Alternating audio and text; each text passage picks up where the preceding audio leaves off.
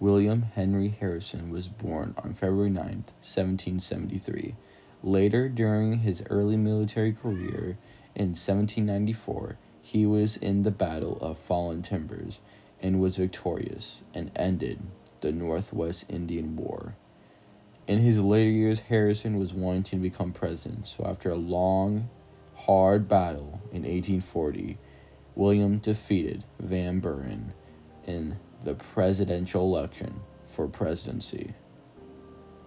Only 30 days later, William died of enteric fever and will be known and has been known as the shortest running president in U.S. history.